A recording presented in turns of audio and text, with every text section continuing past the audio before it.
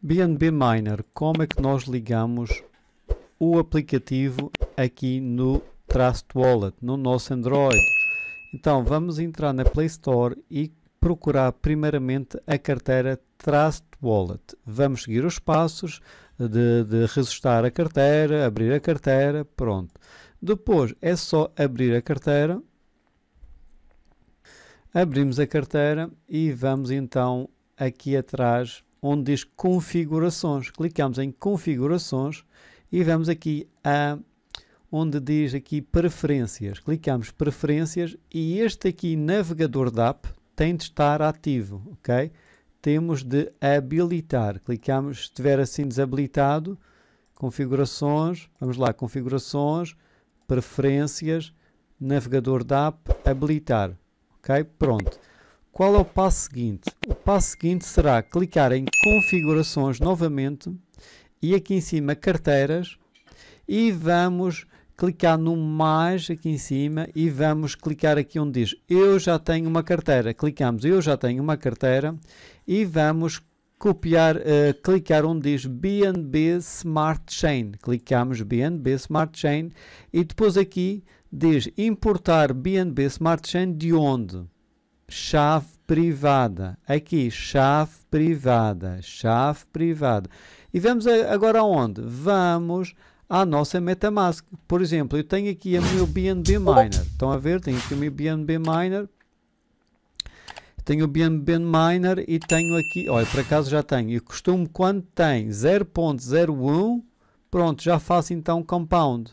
Compound e ele faz, portanto, o compound em português é juros compostos. E aquele valor já que está aqui, que era para poder sacar, já entra aqui no TVL. E desta forma vou aumentando. Vejam lá, a barrinha vai ficar outra vez zerada e vai começar outra vez 24 horas. Portanto, a cada, eu posso sacar, desde que tenha aqui valores interessantes, posso sacar para a minha carteira ou se não, aumentar os meus, uh, uh, os meus ganhos aqui, um, colocando mais e mais BNB. Portanto, mas o que interessa agora aqui é ir à MetaMask, vejam lá, ir à MetaMask e dentro da MetaMask, o que é que nós vamos fazer? Clicar, vejam lá, clicar aqui nestes três pontinhos e está aqui detalhes da conta e depois aqui está exportar chave privada. Vamos fazer o quê? Colocar a password aqui da, da MetaMask e vai-nos aparecer então a nossa chave privada.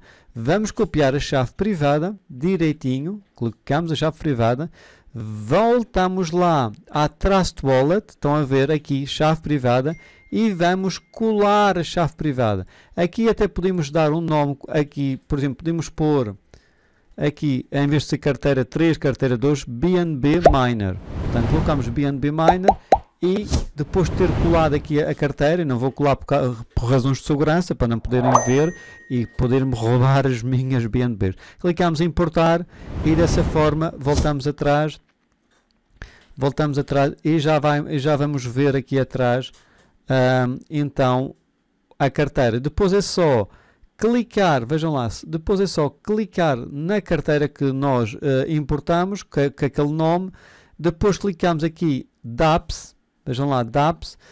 E agora para entrar no BNB Miner, muito fácil. Voltamos lá ao nosso, ao, aqui, vejam lá, BNB Miner. Copiamos o endereço. Voltamos à nossa Trust Wallet. Vamos ao Trust Wallet.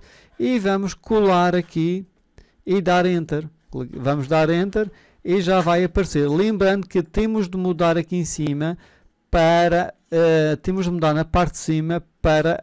Um, em vez de estar lá o símbolo da Ethereum, vocês viram que estava lá o símbolo da Ethereum e de mudar então para a BNB. Clicamos para BNB e depois é só uh, fazermos, portanto aqui é só nós vermos aqui a DApps, vamos colar então aqui o endereço da BNB Miner, clicamos e atenção, se tiver aqui em cima, vejam lá, o símbolo da Ethereum, pronto, coloca, colocamos o BNB.